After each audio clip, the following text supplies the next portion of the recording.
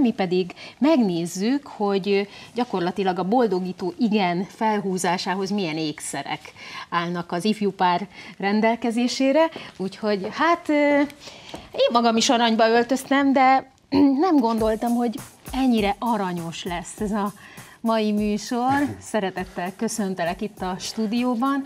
Úgy gondolom, hogy ha ilyen pakkal érkezel, akkor ott mindenképpen nagyon örülnek neked, bár ez most csak kifejezetten itt a Weekend Hát ez most a műsornak szól, persze. Műsornak szól, és hát gyakorlatilag ugye Papatillával arról fogunk beszélgetni, hogy mik is most a trendek, illetve hát egyáltalán lehet-e divatról beszélni mondjuk a karikagyűrűk vonatkozásában? Hogy látod? Mindenképpen persze vannak trendek, amit mi persze próbálunk követni, és ugye felmérve az ügyfelek igényeit, ez szerint alakítjuk a kínálatot, illetve a gyártást, mert mindenképpen az egyénre szabottan igyekszünk legyártani a gyűrűt. Amit elképzelnek, amit a magukénak éreznek, azt készítjük el, és ehhez egy nagyon rugalmas gyártási technológia van. És ugye kezdődik azzal, hogy beszélgetünk, próbálgatunk, mutogatunk az ügyfeleknek, látjuk, hogy milyenek ők, milyen az egyéniségük, mi áll jól a kezükön, alkati kérdés is, ugye egy nagyon pici kézre nem ugyanazt kínáljuk, illetve tartjuk jónak, mint egy vastag duci kézre, és akkor ezek alapján szép lassan kialakul az, hogy mit szeretnének ők, illetve mi áll jól nekik, és akkor, akkor azért ez nem egy pár perces dolog, ugye? Tehát ahhoz, hogy tényleg a, hiszen hát legyünk optimisták, hogy ez egy életre kellene, hogy szóljon ez az ékszer, és... Igen, mindenki így indul persze. Vannak olyan esetek, extrém esetek, amikor hétfőn jönnek és péntekre kell a gyűrű. Ez a gyors, instant eskü, Így gondolom. van. Persze kell egyfajta rugalmasság az ügyfelek részéről, és illetve van, amikor egy fél éves szülés, szó szerint szülés a gyűrű megalkotása, de aztán persze utána már ö, látjuk egy-két év múlva visszahozzák egy felújításra, hogy, hogy működik a dolog, működnek ők is, és akkor ö, látjuk, hogy örömmel néznek rá a gyűrűkre után is. Ezek a gyűrűk, amiket itt hoztál, ugye itt vannak tulajdonképpen úgy gondolom, hogy ilyen jegygyűrűk, tehát eljegyzési gyűrűk is, ha jól fogalmazok. Így van. Innen indul, ugye uh-huh. a lánykérés az egésznek a indítólugója. Ott a vőlegényel találkozunk, és ugye elég nehéz felmérni, hogy akit nem látunk, vajon neki mi fog áll, kezén jól állni. És ehhez persze kell egyfajta megismerés az vőlegény által, hogy milyen a hölgy, milyen az alkata, az ízlése, illetve milyen a munkája, amit majd ugye minden nap fogja tudni majd hordani. Hát igen, nem mindegy, hogy mondjuk egy, nem tudom, öt gyémántal kirakott gyűrűt esetleg egy olyan helyen visel, ahol mondjuk savakkal vagy lúgokkal dolgozik. Hát, ha már itt a gyémántról beszéltünk, mi az a lélektani határ, amire még, mondjuk tudom, és nem is akarunk most a vőlegények pénztárcájába vájkálni, de tehát milliós tétel is lehet, akár egy ilyen jegygyűrű, vagy azért inkább az a, az, az általános, hogy, hogy... Pár százezer forint, száz milliós tétel nem találkozunk sajnos, a hollywoodi sztárok nem nálunk vásárolnak. Hm. Uh, Még eddig, de most az adás után talán. Reméljük, igen. Reméljük.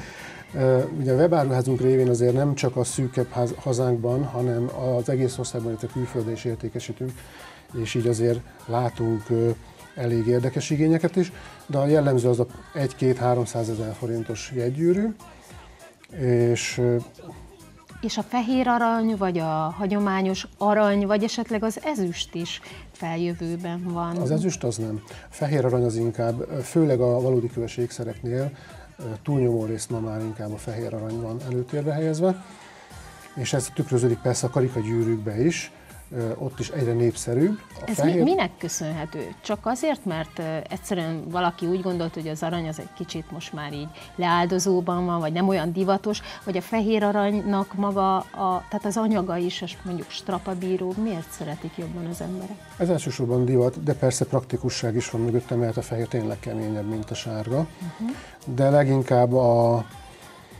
a külföldről behozott igények, azok motiválják, illetve inspirálják a vásárlókat. Tehát egy hollywoodi filmben is gyémántal és fehér aranyjal találkozunk leginkább, és ez látszik is. Illetve A mai fiatalokra elmondható, hogy nem annyira ékszeresek. Uh-huh. Sokszor a vőlegénynél is az a probléma, hogy tud hozni mintát a méret tekintetében a hölgytől. Semmilyen gyűrűje nincs. Ez lesz az első. Hm. De persze És a legfontosabb. Mi, mi, mi történik ilyenkor? Hát érdekes trükkök vannak, éjszakai, alvás közbeni mérés. Olyan meg... elkábítás. az nincs, de volt olyan, aki egy üdítő kupak lehúzójával jött, hogy ez a múltkor jó volt az ujjára, mérjük meg ezt, és az jó lesz biztosan. Úgyhogy érdekes történetek vannak. Persze legtöbb esetben azért még utólag kell korrigálni. Erre persze fel vagyunk készülve, megoldjuk utána, csak hangozzon el az az igen. Az a boldogító igen. Azért vannak olyanok is, akik üzennek, bevésnek kis szöveget, vagy esetleg neveket. Elég gyakori, igen. Hát gondolom, hogy maga a karikagyűrűnek ugye nyilván van egy tólig tartó hossz, amire, tehát egy, nem tudom, Shakespeare összes nem lehet belevésni. Miket szoktak? Vagy, az általános a? a név és a dátum, uh-huh. egymás keresztnevének a monogramja, de volt olyan, hogy az egyikbe került, hogy tartson, a másikban, hogy örökké. Kaptunk már EKG szalagot, Tényleg? és az EKG-ból egy szakaszt kellett belevésni a vésnőknek, biztos akkor dobbant egyszerre a szívük. Uh-huh. Tehát nyilván ezek mind-mind szimbólumok, vagy valamiféle kódolt üzenet. Igen. Hát bízunk akkor abban, hogy ugye ezek tényleg életre szóló ékszerek, de azért egy idő után talán veszítenek a fényükből, pont a, azokra gondolok, akik használják, és ugye nem dobozban tartják a, a gyűrűket. Föl lehet ezeket újítani, vagy egy kicsit tisztítani, hogy olyanok igen. legyenek, mint a boldogító igen elhangzásakor? A modern gyűrűk azért jók, az egyszerűségükből fakad, hogy a fényes polírozható, a matt az mattítható, a kövek azok nem esnek ki, a felől mindenki nyugodt lehet, és pár éves hordás után persze a gyűrűn meglátszik, de hogyha egy szakember kezébe kerül, akkor az gyönyörűen visszaállítható, és akár 10-20 év múlva is jó lesz ránézni. És hogyha valaki mondjuk 10-20-30 kilót hízik, mert azért sajnos ez is előfordul, mennyire lehet ezeket tágítani?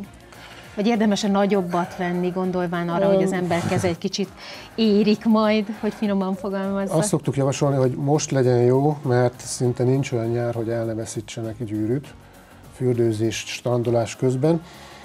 És a méretalakítás az persze sok mindentől függ a gyűrű tömegétől, illetve hogy hány kő van benne.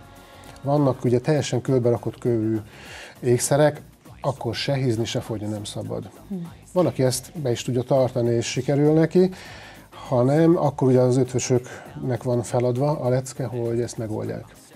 Hát én úgy gondolom, hogy tényleg érdemes jól eldönteni, vagy jól átgondolni, mert ez valóban egy, egy örök darab, és sok esetben még azt is hallom, hogy például egy-egy ilyen eljegyzési gyűrűt akár később az unoka kap majd, és ő ezzel fogja majd megkérni a mennyasszony a kezét, úgyhogy gyakorlatilag tényleg nem, nem is mennek ki a, a divatból, és hát így, hogy hallottuk tőled, akkor van lehetőség mindenféle különleges igénynek a, az előadására, hiszen készen vagytok és nyitottak vagytok az ügyfelek mindenféle kívánságaira. Hát köszönjük szépen! Én köszönöm a meghívást!